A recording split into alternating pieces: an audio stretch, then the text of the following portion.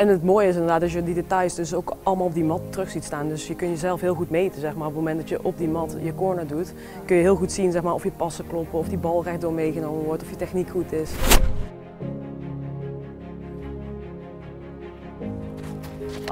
Lekker.